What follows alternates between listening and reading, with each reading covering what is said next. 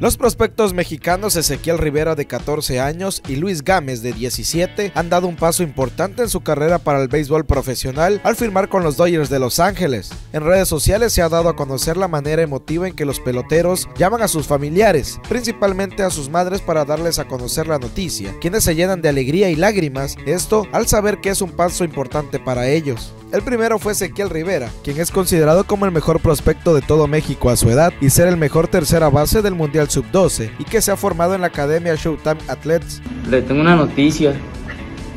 A ver. De que ya firmemos.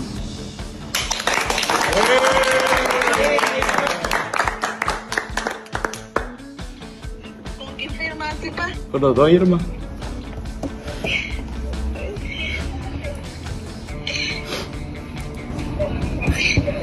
Ya por fin puede descansar ya para Culiacán. Mientras que el originario de los Mochis Sinaloa, Luis Gámez, también logró su firma luego de un showcase y estar preparándose con los Bravos de León. Y por la buena ya es que firmemos. Ya, ya firmé.